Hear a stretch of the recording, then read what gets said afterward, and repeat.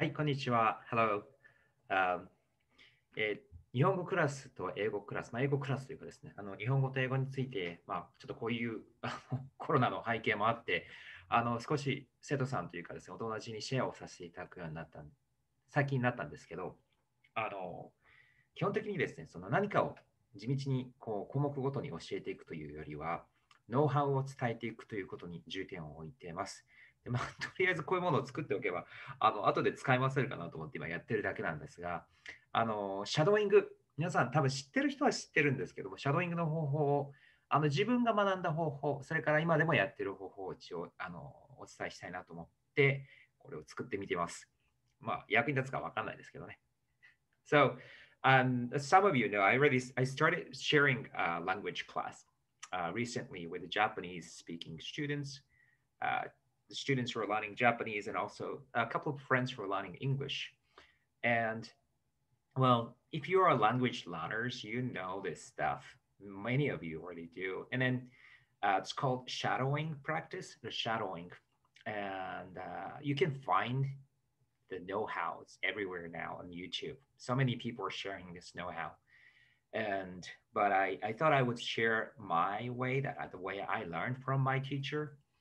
and how I still practice. And I probably should things that I probably should, in addition to what I do um, for my language study, my language training.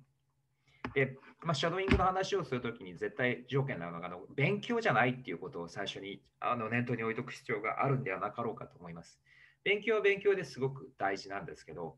あの勉強を否定してるわけじゃなくてですね、あの勉強しなきゃいけないです。辞書で一個一個こう単語単語暗記したりとかや、やることはやるんですけど、ただ、あのそれは多分全体の語学のなんだかな、勉強っていうか、習得の中のどうですか ?3、4割っていう感じなんですか。で、あの半分以上、6割以上ぐらいはこのシャドーイングあの訓練に自分を費やしてきました。で、まあ、あの国際不況というかですね、まあ、あのそういうの世界もそうなんですけど、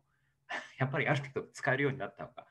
あのいいのかなというのと、あと自分も最近スペイン語をあの、まあ、前々からちょっとやったんですけども、あの英語を優先してたので、でも改めてですね、この南カリフォルニアにいて、あやっぱりスペイン語いるなと思い始めまして、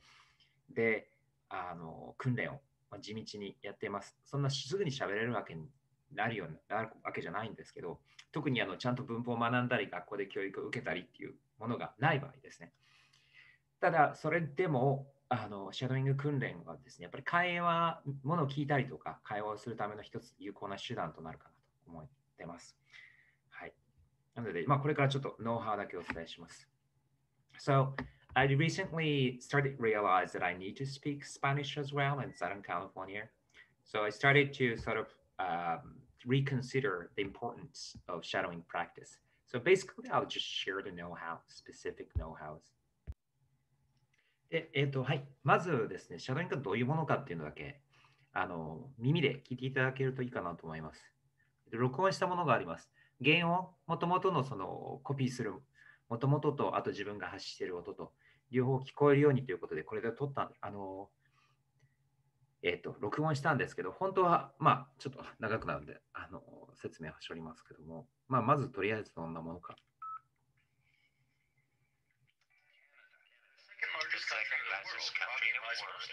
Most American part of North America's covering vast boundaries from the United States to the Arctic Circle in the Arctic Circle. It is a country of enormous distance. It's a country of enormous distances of rich natural resources, and indigenous people, Canada, what is now Canada, for thousands of years before the first. 次。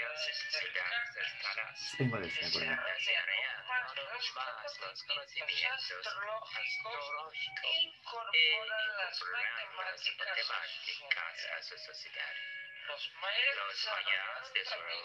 And next. Ma chérie, voici ce qui est arrivé pour toi. As-tu bien reçu les slips Bisous, câlins. and next in Japanese.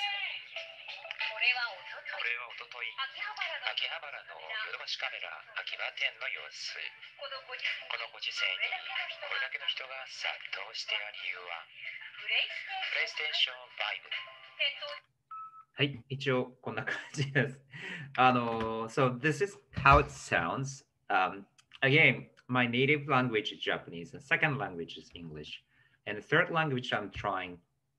I guess, to learn more, uh, to speak of, um, is English, uh, Spanish right now.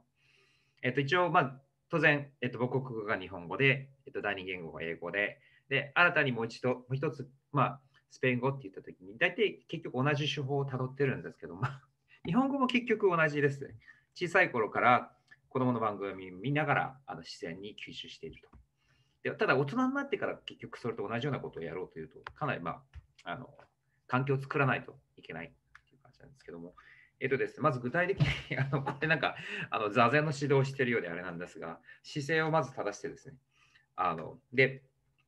ヘッドホン、これはあの必要な器具とされている先生が多いです。まあ、なしでもいけるんですけど、僕は無理ですね。あのヘッドホンがあった方がありがたいです。で、両耳を塞ぐと、まあ、しっかり聞けるっていうことがあるんですけど、一つ私が先生から教わったのは、片耳だけちょっとこうやって外しておいて、で、あの自分の声を循環させて聞けるようにするというのがいいと聞きました。ただですね、これ、あの難しい教材でやると、まあ、まず混乱するのと、正直、あの耳であのやらないと自信がない時もあります。これ多分何を聞くかにもよると思います。So, um, the first of all, I think it's good that you keep a good posture. Then, uh, many teachers say that it's good to cover both your ears. My teacher said it's good to um, uh, keep one ear open so you your output, what you say, you can re, uh, hear simultaneously. So it kind of gives you feedback. Now, if you're dealing with difficult materials, that's difficult to listen to, or a language that you're not quite used to, um, it's kind of like we need we want to focus on input, but then at the same time, it's hard to to to recognize how we're speaking. And so that's where I think this uh, recording device would be handy. To be honest, I felt kind of um, the recording my voice and hearing about hearing my own voice is so embarrassing and painful. So I have to admit I haven't been quite diligent recording my voice, but many people say it's effective. Uh, just re- re- hearing your own voice uh, the voice you're most familiar with speaking another language. I think that's that already is useful too. Um, you can check your habit, your pronunciation. えっとですね、まあ、片耳を開けながら聞く、あの、喋りながら自分の声聞くっていう、いわゆる一つのなんか方法があって、これや教わって確かに有効だと思うんですけど、あの、やっぱりさっきも言ったように、言葉、どの言語を扱うかとか、あの、どれだけ難しい教材まあ、あの内容の話を聞いてるかにもよって違ってくるので、あのまあ、ちょっと開けながら、開けてもいいし、で、あのそういうのが難しい場合、こうやってですね、録音する機材を使って自分の声を確認するっていうのがあのいいと思います。ただ正直な話ですけど、自分の発してる声を録音してもう一遍聞くっていうのはものすごく嫌で、まあ、結構そういう方多いと思うんですけど、でもやった方がいいとは結構たくさんの方がおっしゃってます。だからまあスペイン語でもやらねばと思ってますが、はい、なので、えっ、ー、と、もう一度ですね、で、先ほど聞いていただいたもの、えっ、ー、と、もう一度ちょっと聞いていただきたいんですが、えっ、ー、と、シャドーイングの場合は、話し方が、誰かが話し始めて、すぐついていく。すぐついていくんですけど、あのイメージとしてですね、あの学校での訓練、リピート訓練とか、まあ、私たち普通の教室の環境でやるものが、いわゆるこう、少林寺拳法みたいなのがあるとすると、こう構えてですね、こう決まったフォームで勉強するんですね、こうやって。決まったフォームでやって、でそれを延々こう繰り返していく。で、その中であの学べるものというのはたくさんあるので、あの基礎練習は絶対大事なんですけども、シャドーイングはどちらかというと、スパーリングスパーリングをやってるような感じに思っていただけると、イメージがしやすいんじゃないかなと思います。であの基礎基礎のこれがない状態でスパーリングに入るともちろんすごいきついんですけど、まあ、それはそれで実践能力というかですねあの荒荒削りなんですけどあの、現場に立って実際に英会話、英会話だったり、スペイン語会話だったり、フランス語会話だったり、放り込まれたときに、まあ、なあの戦える戦えないは別としてあのあそうかこういうことなんだっていうその感覚動きのリズムとかはつくと思います。であの日本の英語教育もそうですし、まあ、これね高校の勉強やの受験があったりするので無理強いはできないし自分もあの昔日本語で教えてた時にはまあおすすめしますという程度で、ね、大体の生徒さんはまあ、ね、あの学習っていう方向に行っちゃうんですけどもこのシャドーイングはまさにあのあの語学学習語学の取得を、まあの武道武術に例えるんだったら、これはのスパーリング訓練だと思います。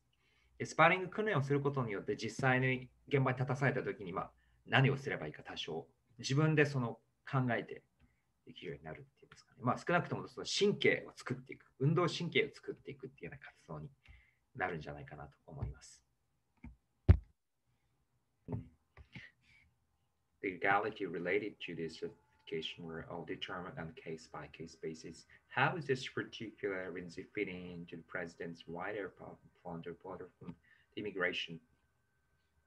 Well, this is one of the three executive orders we're going to see the president sign today, all of which are aimed at reversing the Trump administration's hardline immigration, but none of those orders has changed the reality migration situation from Central America to the United States and immigration problem in the US is incredibly complicated. One of the things we see at the right hand side today is a review of the remains of Mexico. Sí. Luego, señor, un poco de español a Sam.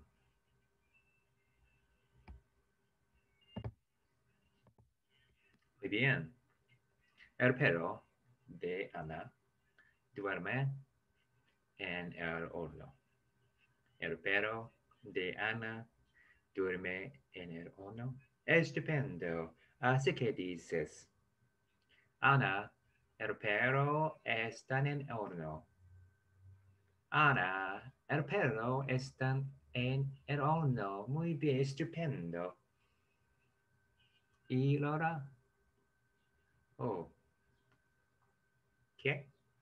Ahora le gustan los hombres fuertes y sobre todo las piernas. Sí. Yo soy fuerte.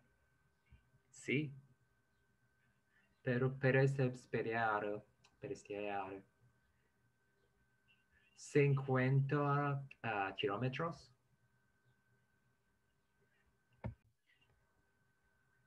ママに叱られたらすぐに逃げられるように何か叱られるような心当たりでもあるの？ある。一番じゃないけど心当たりはいつでも無数にあるよ。のび太。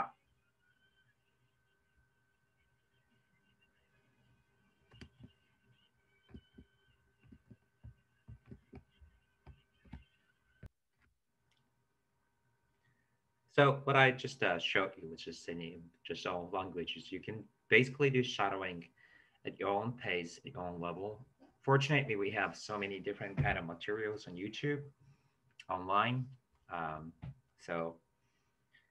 I would say that you tackle it, and then it's good that you set a time when you can focus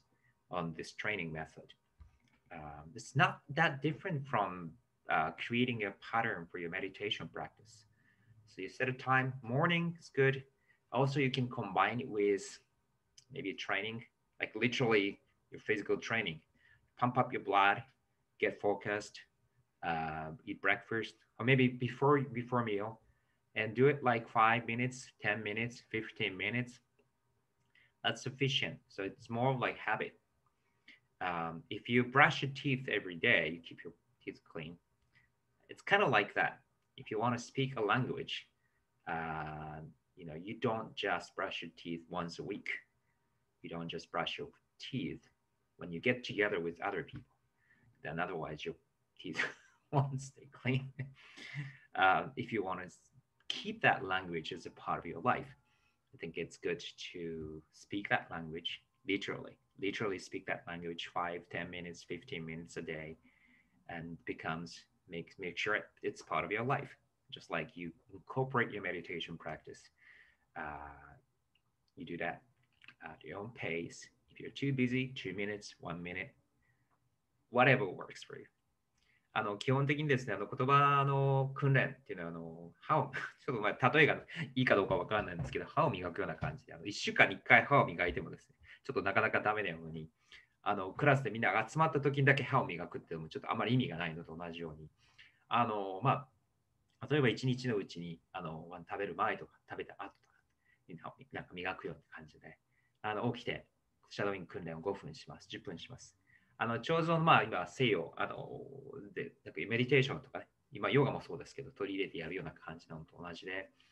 あの、そういう感じで、あの、無理のないように、自分の生活にあのはめ込んで、うまくこう、組み込んでいくといいんじゃないかなと思います。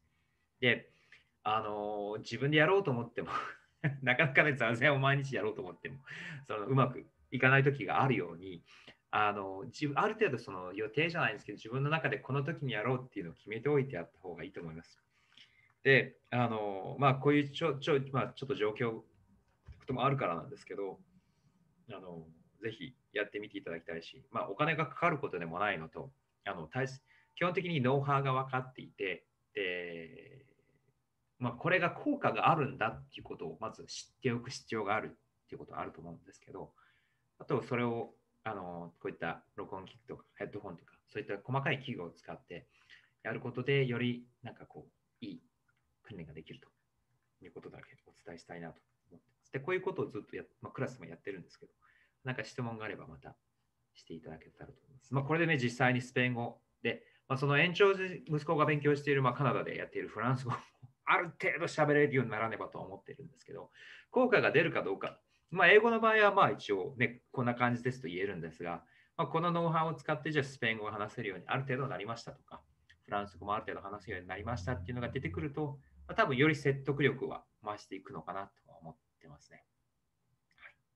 So, you know, like I, it's not that hard to kind of explain how effective this method is when I use my second language. Uh, say, "Oh, this is how I learned English. This is how I learned how to speak English." Um, but then, I think the real question is now as a grown up, not only I'm no longer a teenager, with the the brain that I have, uh, would this method still work to pick up Spanish? Eventually, pick up some French, which my son's learning up in Canada. I'm hoping to be able to speak some French at least, you know, probably with thick accent. But um, again, as long as you find it enjoyable, doable, practical, um, it's free. It doesn't cost. All you have to know that it's it's when you do it in the right way, it's effective and it works. Uh, I'm not even trying to do some any advertisement for any materials or any course, anything. So I suggest you give it a try if you're interested in learning another language.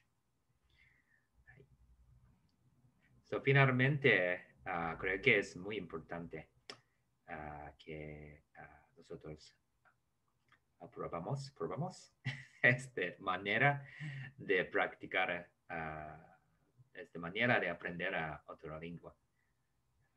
Es, en español también. あのまあ多分どの言語でもそうなんですけど、まあ、あの実際はその後じゃあ聞いて吸収したものを使っていくかどうかっていう、まあ、ところになるので、まあ、あの楽しみながらやっていってみていただけたら面白いんじゃないかなと思います。はい、適当な説問でしたが、そんなところです。